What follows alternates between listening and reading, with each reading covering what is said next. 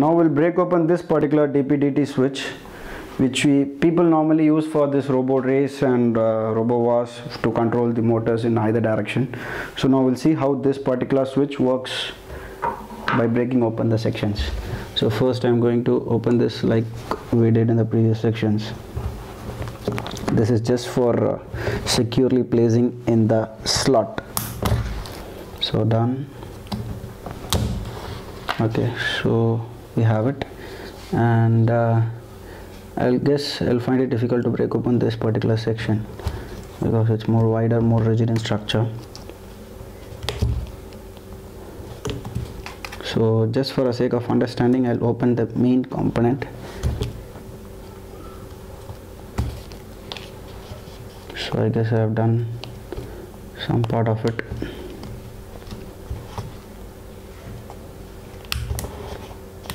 so this is was one of the contactor which I took out right now.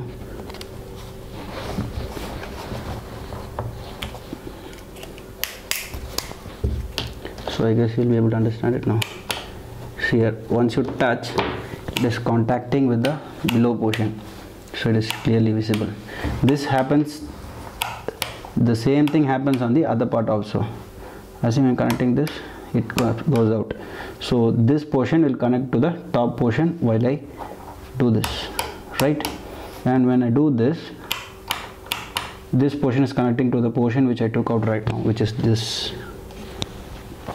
right? I hope this will, be easier for you to understand. I'll just break open the whole section and we'll see how this works if possible